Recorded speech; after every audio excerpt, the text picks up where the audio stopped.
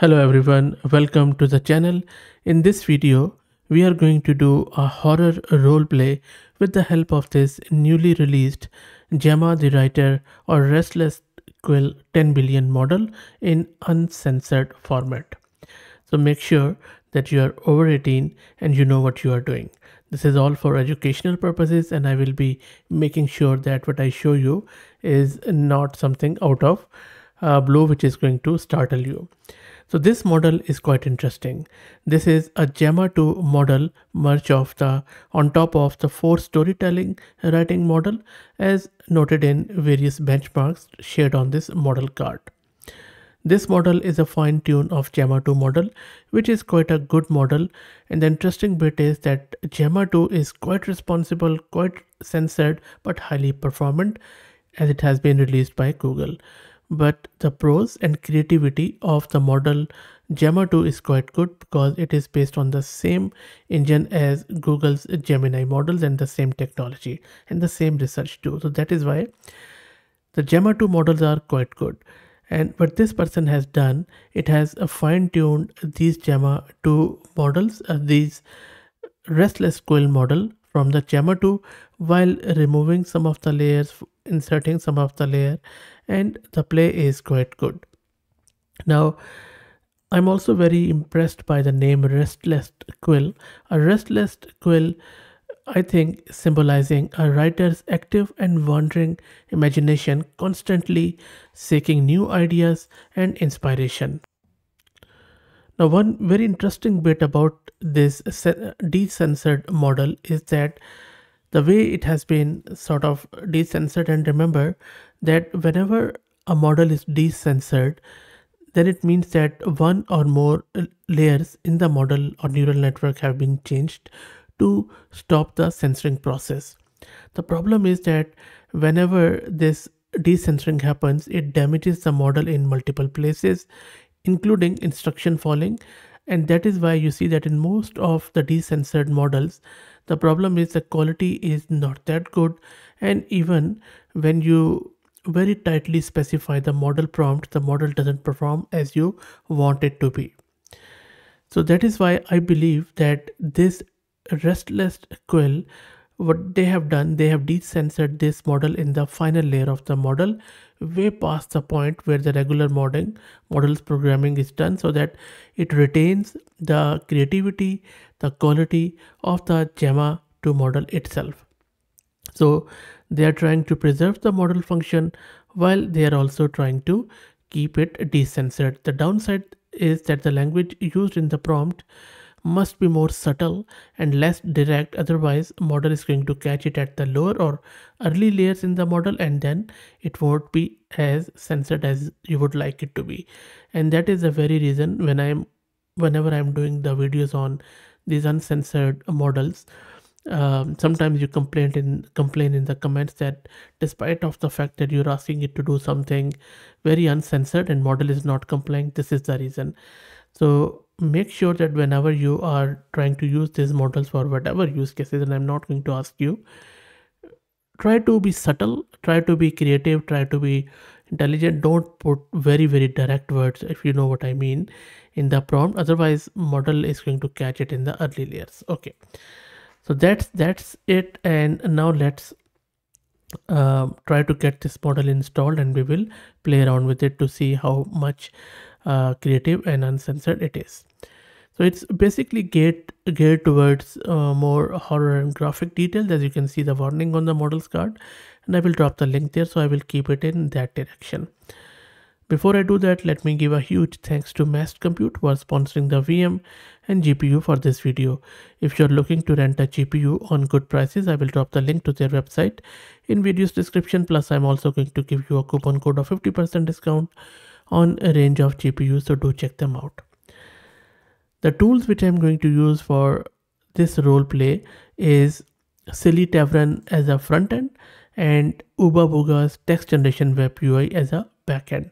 If you don't know what these two are, please go to my channel, just search with this Booga or Silly Tavern and watch this first video which says install Silly Tavern with Booga and run local models with character roleplay.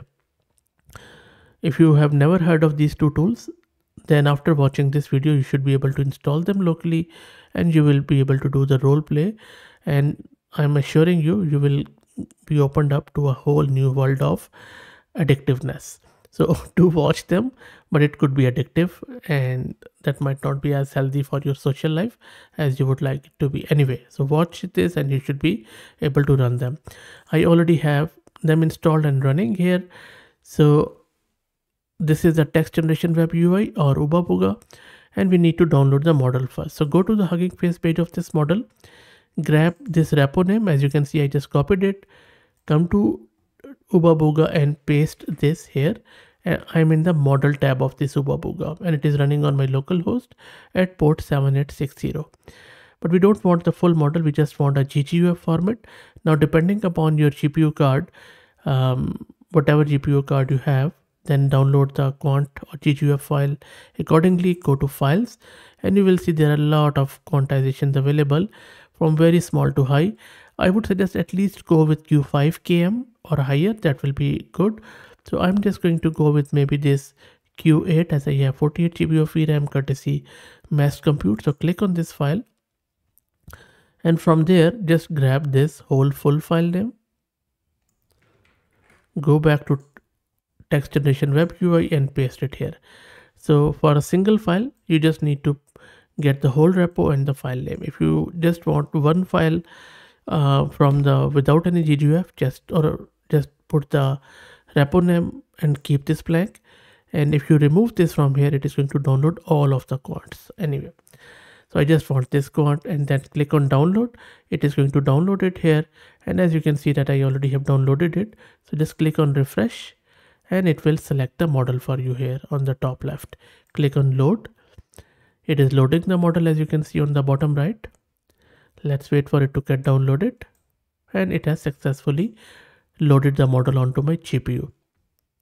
Once that's done, uh, let me also quickly show you my GPU consumption after loading the model. So I'm just going to show you here so it is consuming just around 29 gig of VRAM not that bad for a 10 billion model with Q8 okay so once that's done you can either chat with it here. I already have done it but I'm going to go to Silly Tavern. In Silly Tavern first step is you just load the model like this. I already have loaded the model. And as I said if you want to know how to do that please check out my this video. Once that's done you can select a model um, model role play. So i'm just going to go with Seraphina which is a default character of silly tavern. And for myself i have just created a persona by clicking on the second last tab. And i'm just giving it a name jason who is a 46 year old single man from sydney. Um, doesn't relate to me by the way. But just I gave it a name here and some or you could just of course do whatever you like here and then you can start chatting with the model. So maybe I will just give it a simple prompt to start with. And by the way Seraphina is also a bit of a horror character which comes by default and you can see Seraphina's detail here. Okay so i have made it a bit bigger. Let's try to chat with it. So the role which i'm playing and the setting i'm uh, do i'm doing is that i was the sole surviving crew member in this spaceship which has just crashed in this forest on your planet. I am trying to send a final message back to earth. Before the ship's power runs out can you help me please? So i'm asking this from seraphina so let's see. Seraphina is a guardian of this forest and then she is talking about herself which you can read through but um, i'm just giving her a role. So let's see what seraphina says let's wait for it to her to come back. And now look at seraphina's responses. She seraphina's brow furrows with a flicker of concern. Her amber gaze earnest as she considers your plight. The fragmented whisper of the crash and a lone surviving reaching out touch upon a deep-seated and so it is quite a thick language by the way. A most un- and then she's saying a most unusual circumstance you find yourself in weary traveler seraphina murmurs her voice laced with touch of wonder. But you look at the prose and the creativity and how quickly the model is adopting that role. And and these are the words of model which the Seraphina's character has adopted. And then she's saying saying lay your device here and together we shall weave a whisper across the word so and you can just talk with her. Can you please talk in simple english and help me sending message back to earth as i don't want to stay here. Let's see what she says. And there you go. So she's saying of course weary traveler forgive the florid language. These old ways sometimes linger. Seraphina kneels be beside the pedestal, her touch stirring up pale emerald glow upon its surface. Lay your communication device, this beacon of yours, upon the heartwood conduit. It should help send a stronger signal, like a whisper riding a magical wind. I can't promise it'll reach across the stars as easily as your ship could, but the forest holds echoes of ancient power. Perhaps together we can weave your message far enough. And then it is just saying that it needs to be brief, carried on a sliver of concentrated energy, but we'll make it carry. Okay, then Jason is saying, okay, we have sent it and now we have to wait. What should we do until then? Now, if you really um, could imagine, you could just take this conversation anywhere and model will comply, model will show its own creativity. So I'm just going to pause it here and wait for the model response because as I said, it is an uncensored one. It could say anything. And look at the response. Seraphina rises, offering a calming smile that lessens the worry etched upon your face. The emerald glow of the conduit softly recedes as its work is done. Wow. Rest now, weary soul. Much energy was poured into the transmission, and then she's talking about it.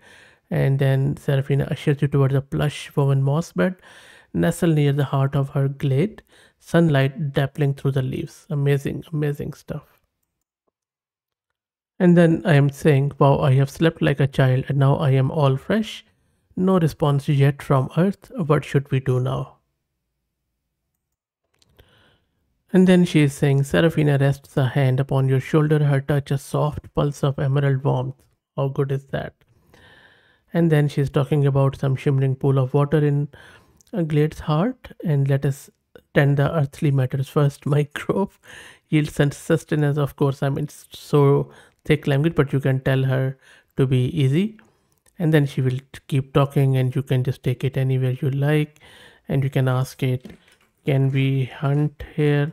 And can you please just talk in simple words? And then she can keep responding to you and you can keep playing with the words here but i think that uh, let's move it towards a bit of a horror stuff and if you go through this hunting and then this is she's saying that this glade is a haven not a larder for the taking and then she just talking about some of the other stuff which is quite good really very very enjoyable to read and then I'm asking her, tell me the most horror event of your life. Let's wait. And while she is coming up with the response, look at this last sentence. Like a tense silence settles as Seraphina draws upon a wellspring older than your world, tension rising like a, hand, uh, like a held breath in the heart of the emerald. And there you go. Look at this. Seraphina lingers a moment longer the willow's light pulsing in rhythm with her breaths. A flicker of pain shadows those amber depths. And then, if you read through it, oh my god, this is quite good. Innocence devoted not in a battle, but in. Oh my, okay, I'm not even reading it. So, this is quite good. Letting out a slow breath that weaves through rustling leaves. This is really, really amazing. Look, I'm not going to, um, you know, keep talking with her because I think it could go on and on and on. But you see that this is such a good thing. And just to give you a bonus point here, you can get a lot of characters, like thousands of them, online for Comfy UI, whatever your taste is. And you can simply download them and then play around with them. And you can watch this video to learn more about those. And I'm sure you will enjoy it. Okay, and before I leave you, let me introduce you to the sponsors of the video who are AgentQL. AgentQL is a query language that turns any web page into a data source. With its Python SDK and live debugging tool, you can scrape and interact with web content. AgentQL works on any page, it is resilient, it is reusable, and it structures the output according to the shape of your query. And I will drop the link to their website in video's description. If you like the content, please consider subscribing to the channel. If you are already subscribed, please share it among your network as it helps a lot. Thank you for watching.